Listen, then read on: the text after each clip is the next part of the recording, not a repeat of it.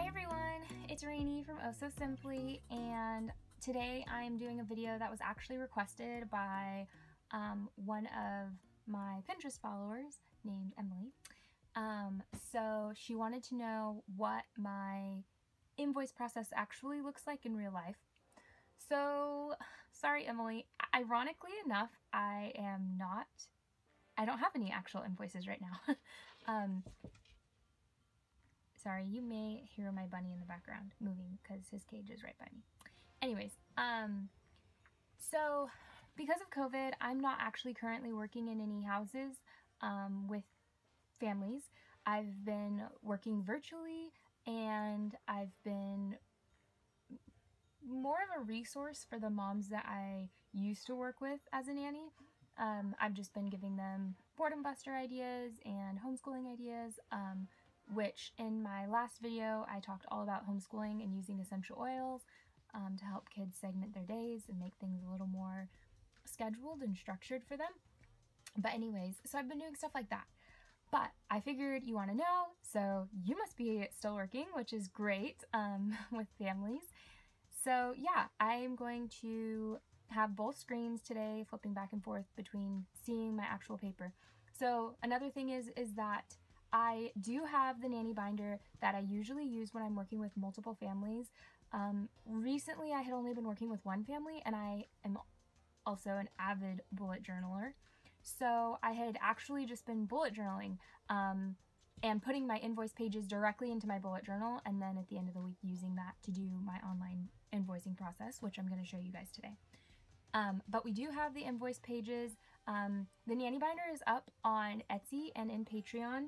And we also, sorry, he is like, he was just sleeping a second ago and then I started this video and now he's like wanting to play.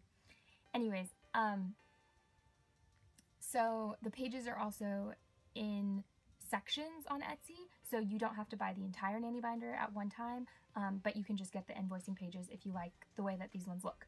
Okay, let's start. So to fill out your invoice, I'm going to use this kind of brightly colored pen and also um, yeah, we'll see how this goes. This is also my first time using two cameras at the same time that I set up and I'm talking, like I'm doing this for the first time by myself. So just be easy on me. Okay, there are two ways to do invoicing. Um, you can have the paper invoice as a reference just for yourself, or you can give them this paper invoice and just take a picture with your phone as a reference for yourself. Whichever way they prefer is honestly the way I do it. Um, for the ease of me and the last family I worked with, um, I just used this as my own reference and then I would send them an invoice virtually. So I'll show you how I do that process. Um, but if you just want to hand them this sheet of paper after taking a picture of it, um, because you do need at least a picture of it for your own records, if not a photocopy. If you want to just give this to them, then you can go ahead and stop the video after that point, but if you would like to virtually send it, um, I use a website called wave.com or wave invoicing. And it is actually free and it's super easy to use. Um, but I still do actually write this at the end of every day just for my own reference so that I don't forget anything important. Okay, so to start, we write our name. And you want to make sure that this is your legal name. Um, this needs to be the name that you use at your bank. Oops. So if you so if you use a nickname like Rainy, um, then you need to put your legal name so that it is payable to that person. Um, and then the bill goes to the family's name. And this is going to be the legal name of whoever is paying your um, invoices. So that's either the mom or the dad, whatever. Then the invoice number, so it's my first day or my first week working with this family. I do 001. It's something I picked up from my husband. I used to just do number one, but you know, I don't know where he got it from, but anyways, that's what we do. Um, but you can put whatever number you want there, really. It's just so that you can reference what is on this invoice later. Datum invoice is going to be the day that you give them the invoice. So it'll be the last day of the week uh, that you're working. So today is Friday. I'm actually filming this today that you guys will see it um, because I'm super procrastinating today. Or this whole week I was really procrastinating. But anyways, so today is the second? I think? Yeah, It's the second. And you can write that however you want. So then in here, you'll have the dates that you worked and you'll fill this out as you go. So every day after work, let's say I worked Okay, so let's say I worked the last four days, including today, so I'm to fill this out and then hand it to them at the end of my shift today. Um, so you fill this out as you go because at the end of every workday, it's super easy to fill this out, and then that way you don't forget if there's any expenses um, that you need to reference. So my service is childcare for all of these, and sometimes um, the reason I have this here is because sometimes I also do organization work, and I won't necessarily be doing that on a day that I would typically nanny. So for example, before I had a family that I did organizational work for, and on one of her days off, I would come and I would reorganize. So we were doing the garage, which was a big project. But because I didn't want to be watching kids and doing it at the same time, um, and we had talked about a different rate for that and everything, so that's why these are different. So you could put kind of whatever you need to put here, and then assuming most of these will be childcare, you might not even feel obligated to fill this out. For the sake of ease, I'm going to use some rounded numbers. So let's say I do five hour days there, and I did a two hour day of organizing. Um, let me make sure you guys can see this.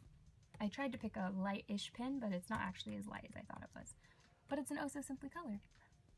And then we'll do the rate. So once again, for ease, I'm going to say that we did $20 for that. And we did $30 for that.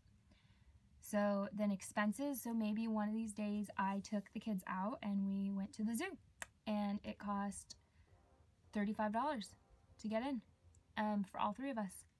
Sweet. Okay. So then you do the amounts at the end. So it looks like I made 100 bucks that day, made 60 bucks this day, made 100, but then I'm also getting back my 35 because they're going to compensate for that. And so expenses that they're not comping for, you can put on here. Like, for example, this day, maybe I brought over some craft supplies that I bought myself and I wasn't going to ask them to comp it because I want to reuse them later. Like, maybe I bought some new markers or something. Um, so in here, I would just put um, like a little note for myself. So, like, me, I'm going to pay for that. And this is because I would only put this note in here, only put this note in here if you're not giving them this paper. If you're giving them this paper, do not put anything else on here. They do not need to know any information like this. But if it's just for your reference, which this one is for me, um, then you put this information here because then later um, I can make sure to save that receipt and staple it to this invoice and boom, there you go. Like now I can count my business expenses at the end for my taxes. Um, but I also wanted to mention really quick that this is for people who are self-employed. So this is for self-employed nannies. If you are a W 2 nanny, if you're a household employee where the parent is taking taxes out for you, they are the ones that need to deal with invoicing. You don't you don't have to care at all about your invoices because they will actually be just sending you money and you just make sure that it's the right amount if that makes sense. So I don't know what that was. But anyways. Um so you don't actually have to worry about this if you are a W2 nanny. Just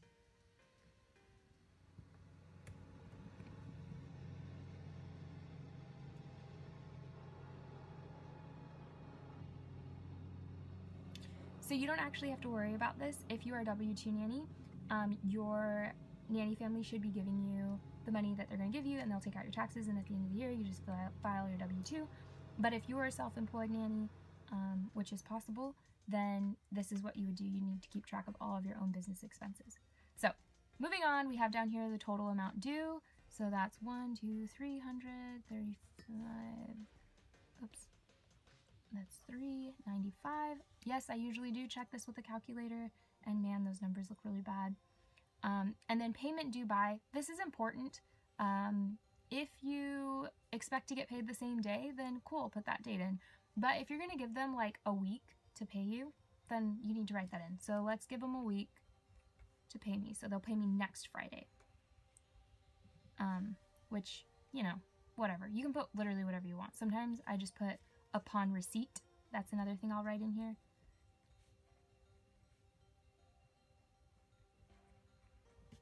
Um, because then, like, I would just scratch that out and be like, upon receipt. anyways, you also do want to use, I'm, using this so that you guys can see this color, but you do actually want to use like professional, like black, and um, the Nanny Binder pages come in black and white, but they also do come in pink, which is fun color. Um, anyways, and then down here are notes, so anything like um, I would put the $35 is for the zoo admission. Or something like that, like just a little note. And um, if you're expecting them to comp you the $35 for the zoo admission, admission, then you do need to attach a receipt or be willing to send them a picture of the receipt. Um, yeah, so that's it. And then you would literally just hand this to them and move on with your life if that's what you want to do. If you want to do um, something a little different, then I will change this whole camera situation around and I will show you what that will look like. Okay, so new camera situation. Um, so I'm going to have a screen recording of me working on my tablet doing this um, with Wave Invoice, Wave Invoicing. Um, so yeah, let's start. Okay, so you're gonna go to your App Store, and in your App Store, and you can also just look this up like on um, your computer, like a web browser. But you can go to your App Store and get Wave Invoicing is what it's called. Go ahead and install that.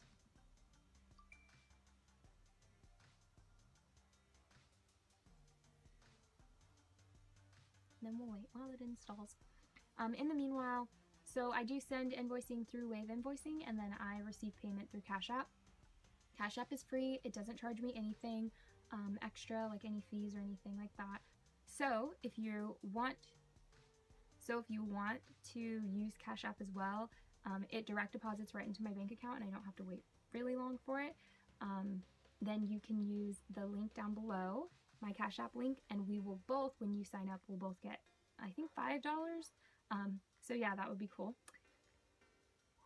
to use that. But yeah, that's how I like to get paid. So we'll sign up.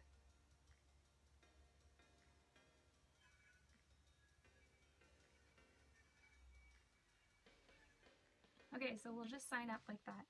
Yeah, so use whatever email address that you use for work is my personal opinion because they will see what email address it comes from. Okay, so then you just have your invoices. You have unpaid, you have the draft, and you have all of your invoices all together. So we'll just create a new invoice right there. Invoice date, October 2nd. Um, as you can see up here, I did actually use this account. Um, it's my actual account, so this is the last baby that I had. Um, that was going to be invoice number 28. But um, you can change it to whatever you want. And so I do say, I do suggest that you put like the kid's name in here, just so that when you're looking at your invoicing, you see who it's for. So it helps you organize your invoices a little bit better. We'll go to payment on receipt. We will add a customer. And so this is one of those things um, that you can, you'll add their parent's email address.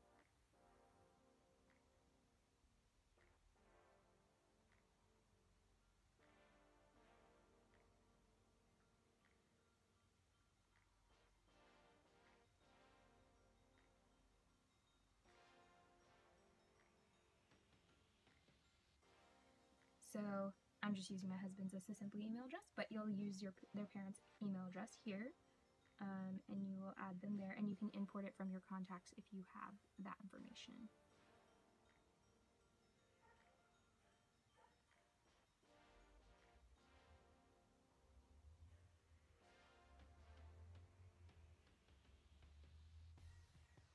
Okay, and then you'll add an item, which I already have under here, some different um, things, but you'll add an item, whatever that item looks like for you.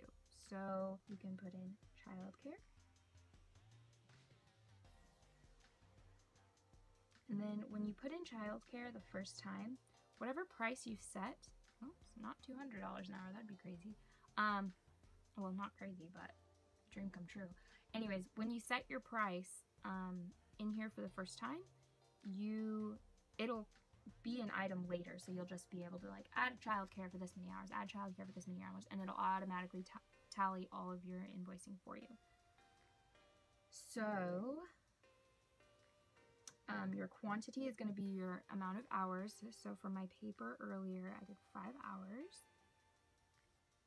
And we're not going to do a tax.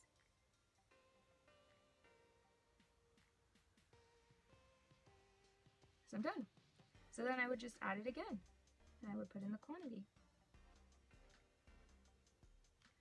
Um, and I would just keep doing that um, in here. So yeah, you just keep adding it up and then you come down here, you can accept credit cards or accept whatever you want. Um, but I don't, she just would know to pay me through Cash App after she received this in her email, but then she also now has a copy of the invoice. Um, and so I will say that I usually use the paper, but I'm a journaler by nature. Um, so I write everything down like that. But if at the end of your day you just pull out your phone and put what you did for work in an invoice draft in ways uh, in Wave invoicing, then you can just at the end of the week send it, and you guys will both have copies of the invoice. So you won't actually need a paper um, if you don't want to use it. And then again for notes, we could do a zoo admission was 35 bucks. Because then for that I would add I would add a item called reimbursement.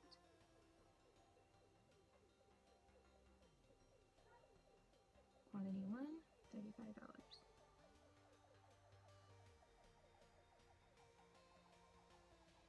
So that way, now at the bottom, she knows what that's for because these are notes that they can see, but she just sees the word reimbursement because then I can use that reimbursement time and time again if I need to. So it'll show you what it's what it looks like. It says from me to Mike.